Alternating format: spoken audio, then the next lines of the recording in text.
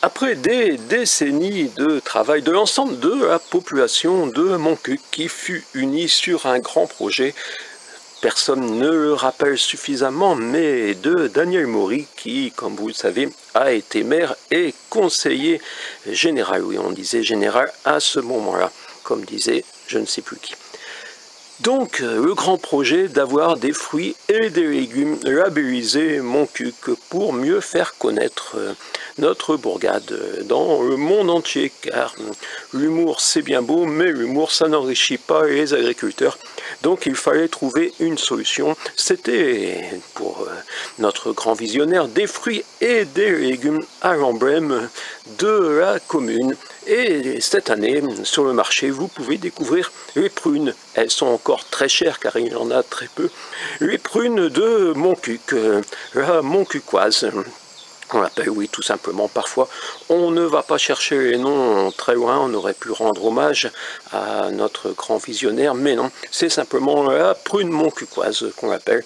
Donc, euh, comme vous voyez, elle a une particularité qui permet à la municipalité d'en faire son emblème.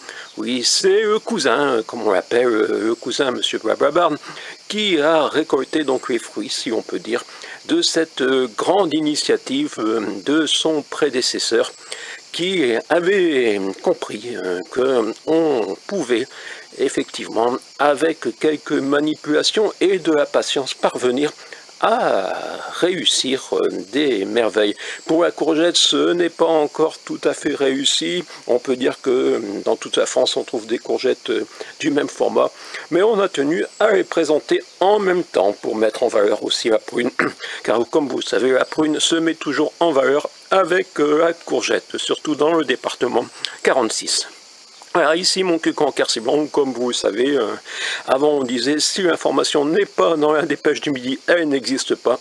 Et eh bien, parfois il y a des choses qui existent, comme vous savez, dans la dépêche du midi. On ne sait pas que euh, la fille de Sandoudou, c'est une pièce de Stéphane Ternoise, et pourtant elle existe. Et eh bien, ceux qui lisent la dépêche du midi ne savent pas qu'il y a une prune, euh, là, mon cucoise, qui est arrivé sur le marché, enfin je crois, euh, d'après ce que l'on m'a dit, car naturellement je ne touche pas à ce genre de papier. Eh bien, l'information n'y est pas, et pourtant elle existe. Contrairement à l'arrestation de Dupont, je ne sais plus comment, Aignan de Longness, euh, qui normalement était arrêté, c'est d'après les lecteurs. Ici, mon cul en comme vous le voyez, les médias se font parfois des petites guerres, mais c'est toujours bien sympathique. Il n'y a jamais de coup tordu, comme vous savez, entre euh, les différentes euh, voix. Si, si, quoique. Enfin, vive les prunes.